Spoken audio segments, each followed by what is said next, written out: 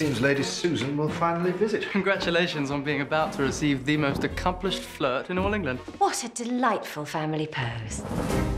My brother-in-law is very rich. In one's plight, they say, is one's opportunity. Delighted to make your acquaintance. He's handsome, isn't he? In a calf-like way. Does this woman always get her way? She has an uncanny understanding of men's natures.